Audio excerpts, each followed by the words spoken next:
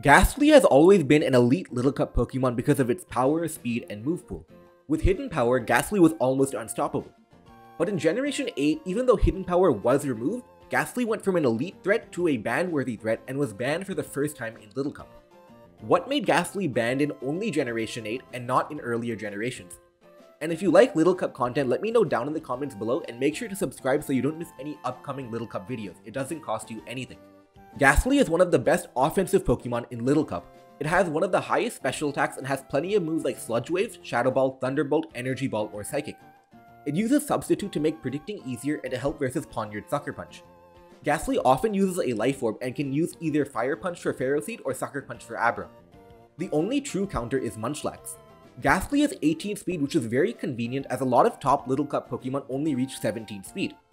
Although Gastly has low defenses, it can use its good typing and levitate to help switch into attacks. This makes it different from something like Abra. Abra is stronger and faster, but doesn't have the coverage that Gastly has, and its psychic type can't be used to switch into anything. Gastly has the speed and power to get a KO every single time it comes in, but there's also another big factor that I haven't mentioned yet, and that is Diglett.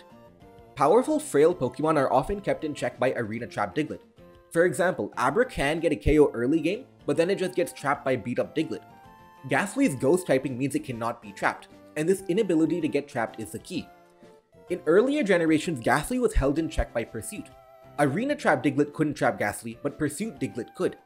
Choice Scarf Pursuit Pawniard was also very popular and made sure that Gastly could never simply destroy teams. Gastly still had very few switch-ins in older generations, but revenge killing was viable and fitting a Pursuit user on a team was easy. And that's just it. Pursuit was the Achilles heel of Gastly, and when Pursuit was removed in Generation 8, Gastly became overpowered and was banned.